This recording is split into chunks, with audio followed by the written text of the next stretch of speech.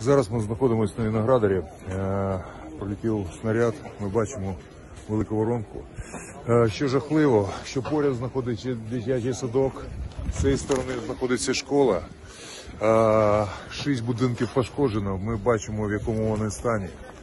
Окна вибиті, і вони вже не придатні, не придатні для життя. Е, Чотири д- дитини постраждало, один вбитий. Е, Одна людина вбита і 19 зараз госпіталізовані. Отакі от наслідки. Е, Тут жахлива ситуація.